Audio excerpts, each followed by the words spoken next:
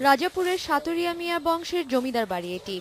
শেরে বাংলার শৈশবের অনেক স্মৃতি বিজড়িত এ বাড়ি। মাত্র কয়েক বছর আগেও এই বাড়িতে দেখা যেত তার ব্যবহৃত বহু আসবাবপত্র, কিন্তু সংরক্ষণের অভাবে তা হারিয়ে গেছে। তবে খুলনা প্রত্নতত্ত্ব বিভাগের উদ্যোগে সাড়ে চার লাখ টাকা ব্যয়ে ভবনটি সংস্কারের উদ্যোগ নেওয়া হয়েছে।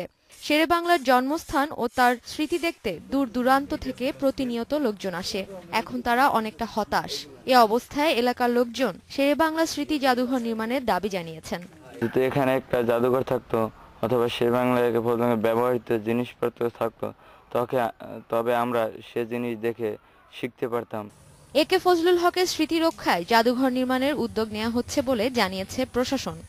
বাড়িটি সংরক্ষণের জন্য প্রত্নতত্ত্ব প্রত্নতত্ত্ব বিভাগ খুলনা কাজ শুরু করেছে এবং এলাকার মানুষের দাবি এখানে একটি জাদুঘর ও লাইব্রেরি করা এ বিষয়ে আমরা কর্তৃপক্ষকে জানাব। বিগত তত্ত্বাবধায়ক সরকার সেই বাংলা স্মৃতি রক্ষা প্রকল্পে তিন কোটি টাকা বরাদ্দ করেছিল কিন্তু ওই প্রকল্প বাস্তবায়ন হয়নি। Independent News.